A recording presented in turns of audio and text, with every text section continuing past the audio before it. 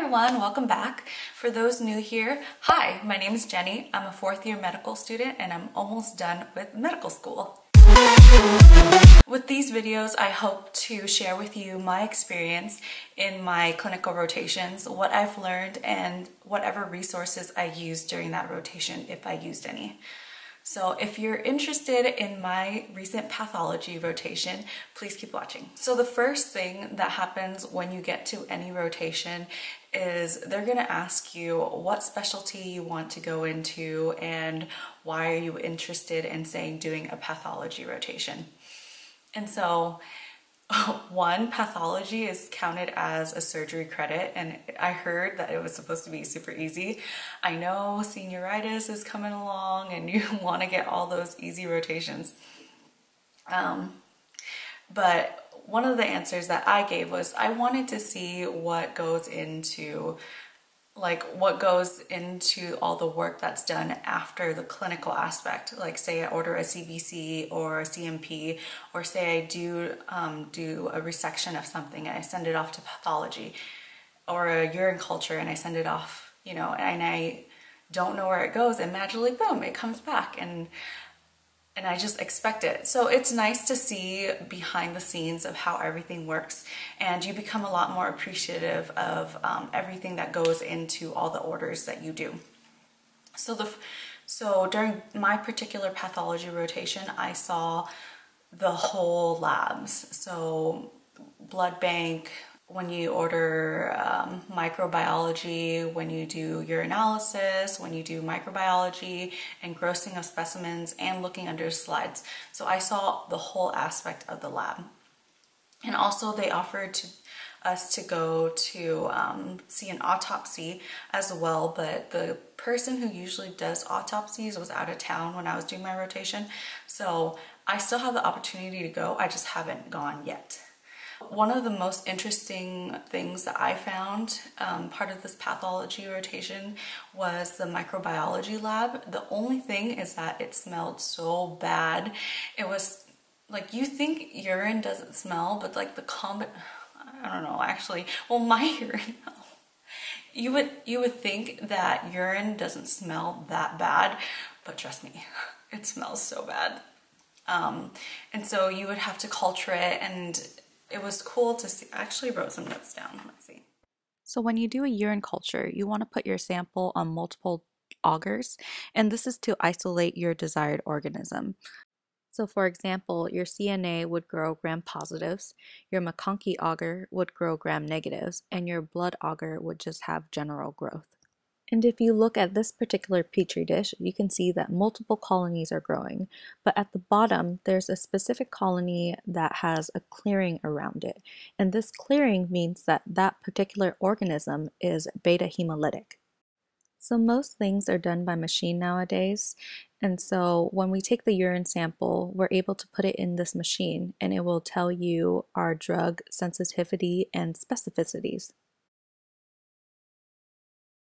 And then another part of the lab that we went to was a histology core. And for those of you who didn't know, I worked in a histology core when I was in college at UC San Diego. And it was really cool to come here to a bigger lab where everything is done with a machine. Like the immunochemistry stainings are done with this huge machine. Even the cover slipping and the H&E stainings, all these things are done by machine and it makes me so appreciative because I would spend hours doing those things as a volunteer and then as a as a histology tech. So it's just cool seeing all those things again. Then after that's done, then it goes along and it scans the barcode on all of the slides and it makes sure, okay, this slide is the ECAD heron. Well, it wants to make sure that that ECAD antibody is on the machine. Mm -hmm. So mm-hmm. see, it's alarming now. Because it's not on there?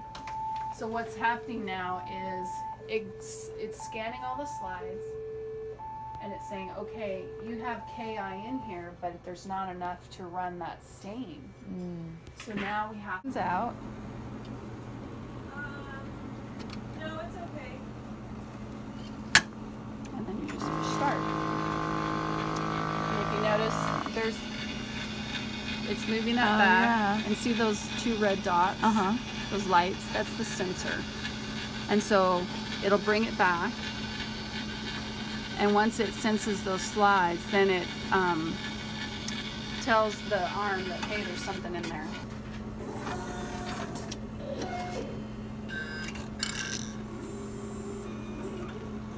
This is so cool.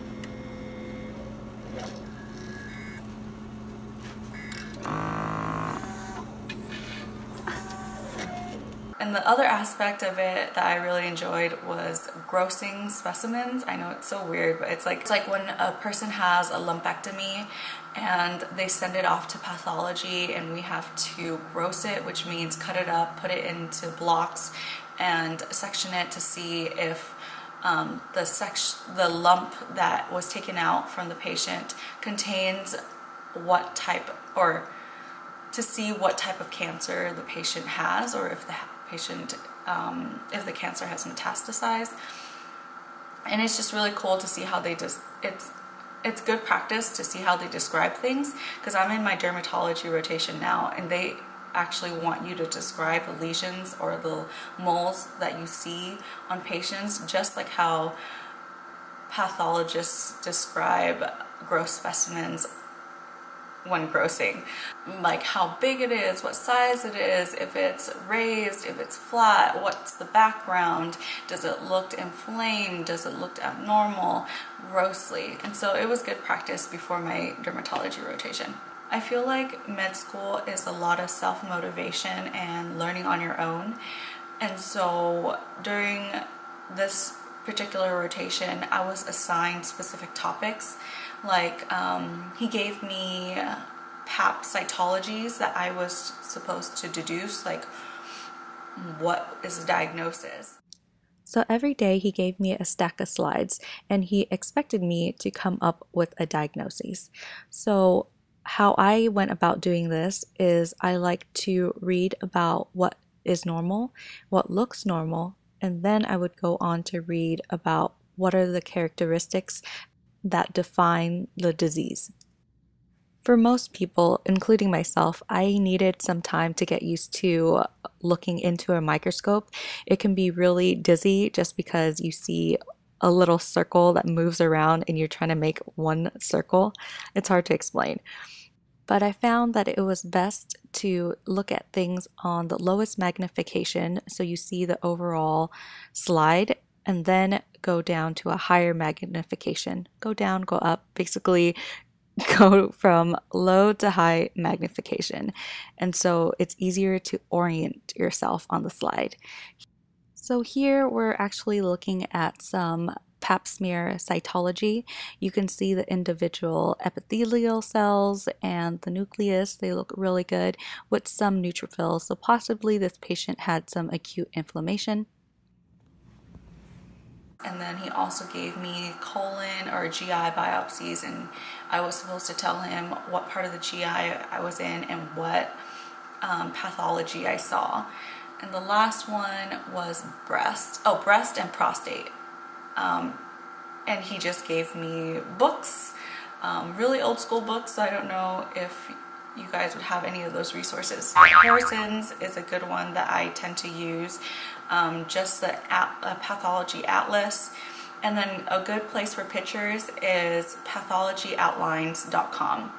It has good examples of the of what's normal and what is considered um, like the different pathologies. So um, good resource to use if you're interested in looking at pictures.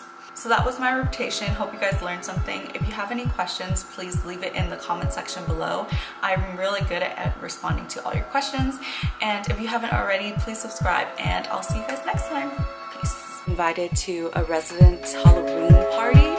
And so Stan and I decided to go. And obviously it's a costume party, so we had to dress up as something.